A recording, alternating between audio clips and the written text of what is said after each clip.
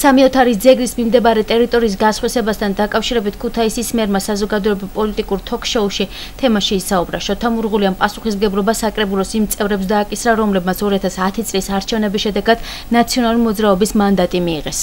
რო ჩამოვედი პირდაპირ გეტყვით. პირველი თემა, რომელიც დამხვდა და საზოგადოება შემხვდა და ეს აწეული და მათ შორის თქვენი ტელევიზიით არაჯერ მინახავს და გაშუქებულა რომ სამი ოთარის ძეგლის უკან. და იცით თუ ეს სამი ადამიანი ჩვენი ქალაქისთვის არის უსპატივცემულესი ადამიანები და ბევრი ქუთაისელი იზრდება მეობის მისაბაძად და ამ სამი ოთარის პატივგება ხდება და შემდეგ.